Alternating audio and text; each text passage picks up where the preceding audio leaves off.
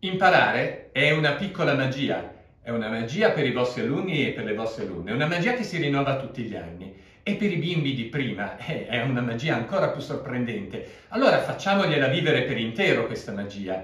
Per questo motivo abbiamo pensato di preparare per loro dei cartonati che ritagliano, costruiscono e possono manipolare per imparare meglio. Si tratta della pozione parolina, la pozione parolina che serve loro per capire come si fondono le consonanti con le vocali, combinandole insieme. La pozione numerina, che permette loro di imparare a contare anche oltre il 10. La pozione regolina è la pozione che consente loro di mettere a fuoco le idee e i concetti principali.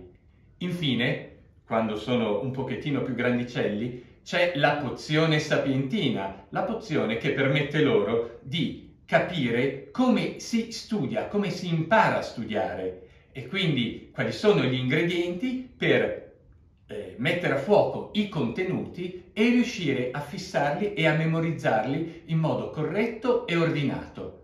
Questi sono strumenti che consentiranno ai vostri alunni e alle vostre alunne di imparare in modo efficace e duraturo.